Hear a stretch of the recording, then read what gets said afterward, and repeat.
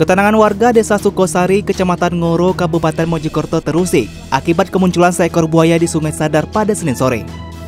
Hewan reptil ini diketahui sejumlah warga saat sedang mencari rumput. Warga menduga buaya ini muncul untuk memangsa ikan yang mabuk akibat tercemar limbah sungai berantas.